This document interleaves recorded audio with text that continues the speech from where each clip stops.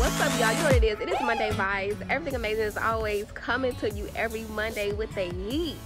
Don't forget to subscribe, like, comment, and share, and all that fabulous stuff. It's Monday. Let's get it. If you build it, people are going to come. Yes, if you build it, people are going to come. As you start moving towards your goals, it is Monday, y'all, okay?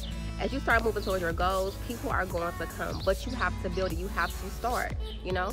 If you can create five people or even three, like a hard list. Like if you second guessing that person, they don't need to be on your list.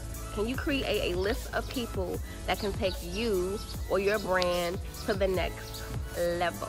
I mean, the people on your list should be able to help you strategize, y'all, allow you to shift through some thoughts, or if they have the experience that you may need, or are they a resource, or do they have resources that you can benefit from, or do they even have connections? I'm talking about people in your life that you can truly tap into to create legacy.